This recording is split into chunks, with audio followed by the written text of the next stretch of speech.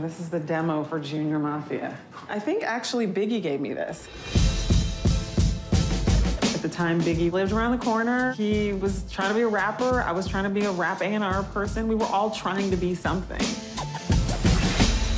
Drew was a young, powerful something who cared so much about this music.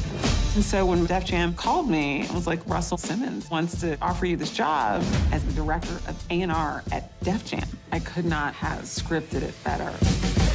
That's one of the beautiful things about the music industry. There was a lot of mobility for women, but at the same time, there was tremendous amount of sexual harassment. You didn't get a lot of sympathy for that. That was considered the price of admission.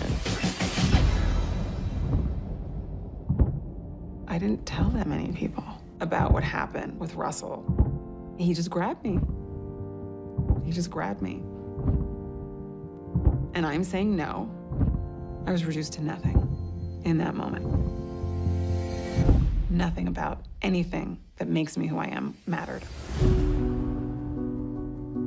I had asked her, do you want to go to the police? She was like, no one's going to take me seriously. Who's going to believe me? If white women are not believed, what do you think is happening to black women in America when we come forward with stories about sexual violence? I don't have a stitch of violence in me. I would never hurt anybody. You're worried as a black woman that you'll say something that will have consequences that you hadn't anticipated.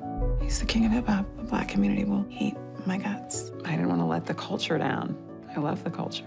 It's a terrible burden to bear, to know that you might still be judged as somehow being a traitor. The New York Times called me and said there were other women, but they won't go on the record unless I go on the record. But I'm terrified of the backlash.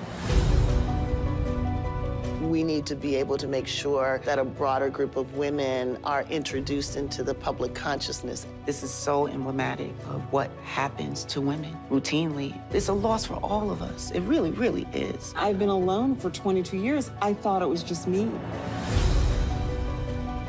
To go through the assault and then the coming forward. Everybody was taught things happen, you just didn't talk about it. And so I just always put on this front. Every woman's story deserves to be heard. I've been a victim for 22 years. I'm tired of being a victim.